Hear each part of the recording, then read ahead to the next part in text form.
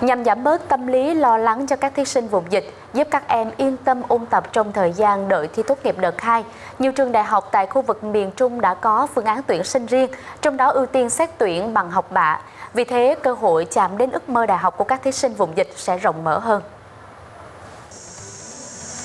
Trong thời gian tiếp tục ôn tập chờ đợi lý thi tốt nghiệp đợt 2, Mỹ Ý nhận được giấy báo trúng tuyển đại học với hình thức xét tuyển bằng học bạ.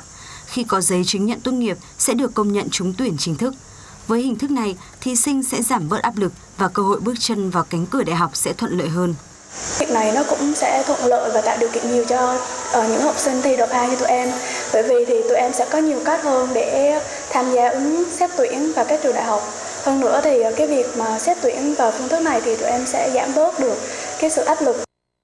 Hiện nay, nhiều trường đại học tại khu vực miền Trung đã điều chỉnh phương thức tuyển sinh cho phù hợp với tình hình dịch bệnh COVID-19. Trong đó, ưu tiên xét tuyển bằng học bạ, sử dụng kết quả học tập lớp 12 cho tất cả các ngành theo tổ hợp xét tuyển và trong trường hợp cần thiết sẽ tăng chỉ tiêu để đảm bảo chỗ cho thí sinh vùng dịch đủ điều kiện nhập học. Có thể ừ, khẳng định rằng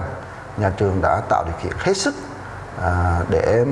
ừ, tạo một cơ hội bình đẳng à, để các em có thể à, bước vào giảng đường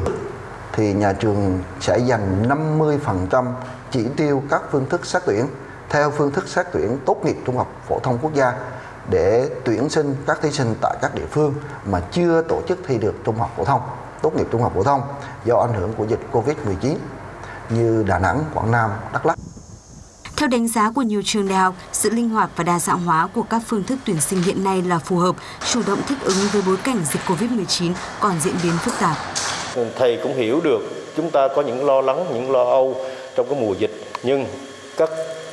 phương thức xét tuyển này thì cơ hội học tập đáp ứng được ước mơ của các em hoàn toàn là ngang nhau với so với à, trước đây so với khi không đồng tâm dịch hoặc là so với các em thi tuyển được một